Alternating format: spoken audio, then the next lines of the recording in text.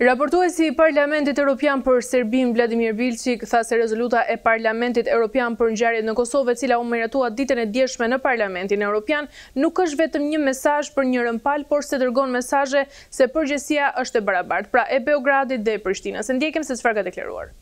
Rezoluta nga njëra anë tregon se çfarë duhet të bëjë pala serbe, Beogradi, dhe ky është mesazhi kryesor, por presim që dhe Prishtina të tregojë një përkushtim serioz për dialogun, negociatat, çështjet të cilave u referohet dialogu, si për shembull themelimi i Asociacionit, reduktimi i tensioneve, kryerja e një hetimi të plotë për të gjitha incidentet e dhunshme, përfshirë sulmet ndaj serbëve. Siç është ai në natën e Krishtlindjeve të këtij viti, gjithçka është shkruar në rezolutë dhe është e rëndësishme.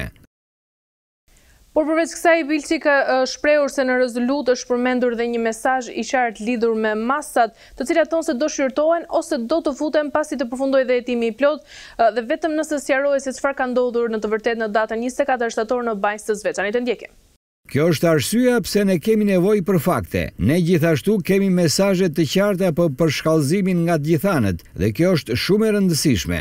Nuk është i lumtur për miratimin e rezolutës, sepse po ndodh në një kohë shumë të ndjeshme.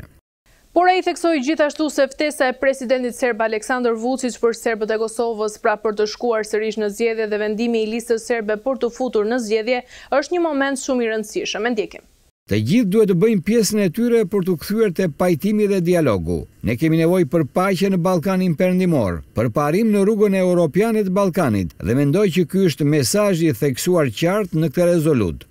Ndërkaq, raportuesi i Parlamentit Europian për Serbinë, Vladimir Bilçik, theksoi se teksti i rezolutës duhet lexuar me kujdes sepse përveç mesazheve kritike dhe ato politike ka dhe mesazhe mes atyre rreshtave dhe se një prej tyre Duhet mirëkuptim për atë që ndodhi në Banjskë më datën njëzet e katër shtator. E ndjekim.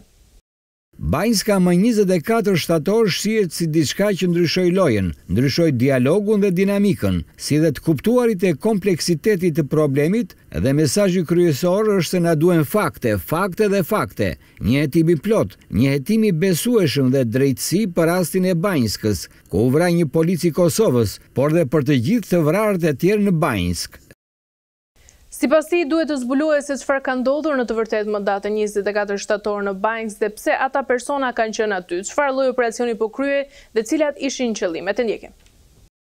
Mendoj se kemi nxjerrë mësimin tonë, përkatësisht se marrëdhëniet mes Beogradit dhe Prishtinës janë në tension ekstrem, se kjo sjell pasoja për njerëzit që ishin aty, si dhe për operacione ilegale, tregti ilegale, shkëmbim ilegal të mallrave, lëvizje ilegale e njerëzve dhe mendoj se duhet të ndalen. Dhe sipas tij, është e nevojshme të kuptohet mirë se çfarë po ndodh me hetimet për njëzet e katër shtatorin në Banjskë të Zveçanit dhe sigurisht theksoi se dialogu është i rëndësishëm dhe të dyja palët duhet të kthehen në tryezën e diskutimit.